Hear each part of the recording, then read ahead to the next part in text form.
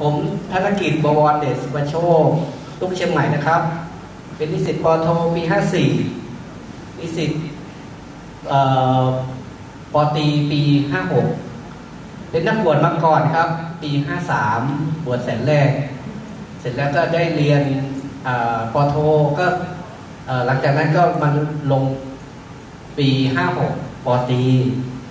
แล้วอยู่ๆก็ ช่วงหนึ่งก็คือโควิดไป แล้วก็กำลังนั่งสมาธิพอดีมีเสียงของดรเขมิกามา ช่วยติดต่อเจ้าหน้าที่ด้วยนะครับ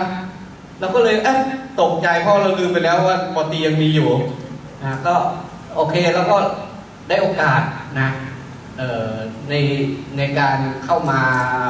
สอบองค์รวมนี้พอดีเลย ตั้งแต่เรียนปี 56 จนถึงปี 65 สำเร็จครับสำเร็จเพราะว่าหนึ่งเราเผังนักบวชของเรา ก็รักษาศีลสมาธิเกิดปัญญาบารมีขึ้นมาบุญปัญญาจริงๆนะครับ อาจารย์ผมก็ไม่คิดว่าเออจะได้มีวันนี้ ได้สำเร็จวันนี้นะครับปากปลื้มแล้วก็ขอเชิญชวนนะครับ นิสิตปตี ช่วยตัดสินใจครับ สอบปอโทไปเลย